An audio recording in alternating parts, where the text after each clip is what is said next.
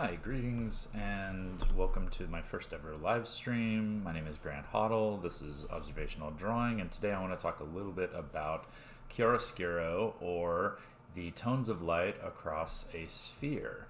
Uh, this method of drawing and depiction was made popular in the Renaissance by artists such as Leonardo da Vinci, and um, it's something that you're going to use a lot in this class. Uh, your first project uh, focuses almost exclusively on this, so let's get started. What you're looking at here is um, a really quick drawing that I did of a sphere. Uh, generally, I recommend that everybody be able to do one of these, um, that you be able to basically uh, quickly uh, sketch out a, a, sphere, do some subtle shading on it, and identify for yourself um, these six points of light um, that are defined in chiaroscuro. By the way, chiaroscuro is spelled like this, chiaro scuro. It's from Italian. Chiaro meaning dark, and I'm, I'm sorry, light, and oscuro meaning dark. So light and dark, pretty simple. Um, by the way, I can tell that my screen is giving a bit of a lag on this. My apologies for that. Um, will just continue as if that's not happening. Um, okay, so in this case, your basic moves are to start sketching your sphere. I'm going to do another one, move my screen just a little bit, and uh, give you a, a quick rundown of how I go about this. Okay.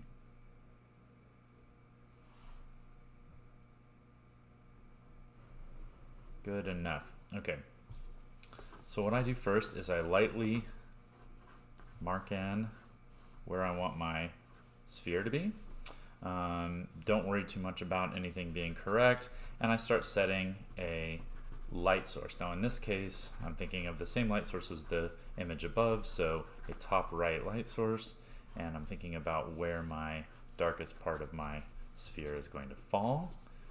Kind of correct some of my crazy not circular ball at the start of this.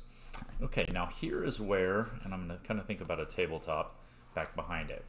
Um, so this is where uh, an easy first step needs to happen, and that's to decide that your darkest part, the core of shadow, is usually on a sphere if it's sitting on a light surface, like a white table, uh, not on the furthest edge of that object. The core of shadow is actually inside that moment a little bit and we're going to talk about this in a second, but it's because of a reflected light that's bouncing back up off of the table and causing that to happen.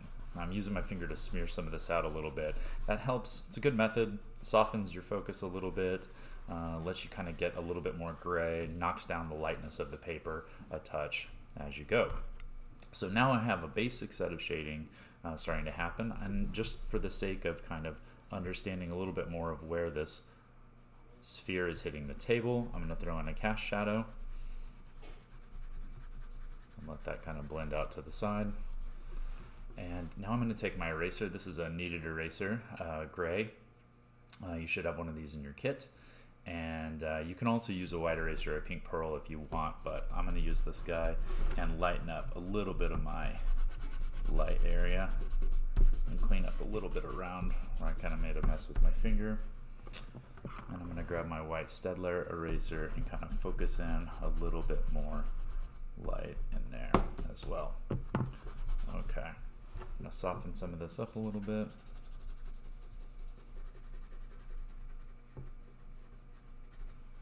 I'm drawing with Prismacolor colored pencils. They don't erase uh, very well compared to like a number two or a series of graphite. This is like a harder binder in there, which means that they tend to stick to the paper a little bit more. It's waxier, so you have to press a little harder if you're going to get um, eraser marks to show. Um, but I also have a white Prismacolor pencil that I will use to increase a little bit of the light source inside there as well. So I'm going to kind of work a little bit of light back in, cross my light section, bounce in a touch of reflected light, let's throw a highlight in there. Highlight is the brightest spot on any given surface and it's actual reflection of your light source. So you can spot it in whatever it is that you're drawing, and you can work from it from there. And throw in a little bit of light back behind my object.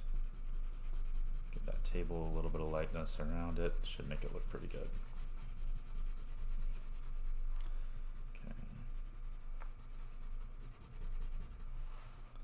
So this white surface that I'm depicting here is what is causing this reflected light to bounce back into the underside of the ball. And it's actually that little bit of light kind of popping into the other side of an object that really helps to define the roundness of the object because now instead of the ball stopping at the dark point out here, we actually are allowing your eye to kind of start to see around the other side of it.